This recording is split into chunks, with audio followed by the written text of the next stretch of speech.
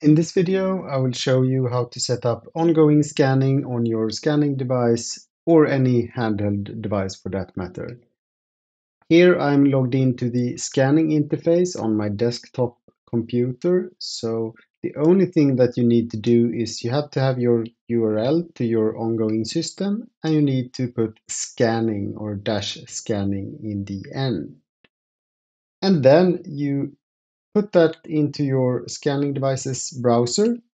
Uh, you log in either with an administrator or a warehouse worker, the latter being the most typical choice. So here I have a TC22 scanner. It's an Android powered device. Once you've logged in in your um, browser, you see here, you may not see it, but on your upper right, you will have an option called install app.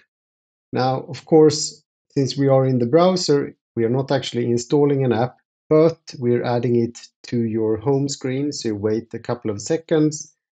And then if you look at your home screen of your handheld device, you will have the ongoing symbol here. When you open that, it takes you directly to the scanning interface. You of course have to log in and then the URL address field is gone as well as you have more space in the footer. So here you see I have the same um, on my scanning device, the same options as I do in the uh, scanning interface on my desktop computer. And then you're good to go. And then, of course, you have to configure your scanner, uh, but that's uh, based on the ha hardware. So uh, I hope you understand how to start uh, using ongoing scanning. Thank you very much.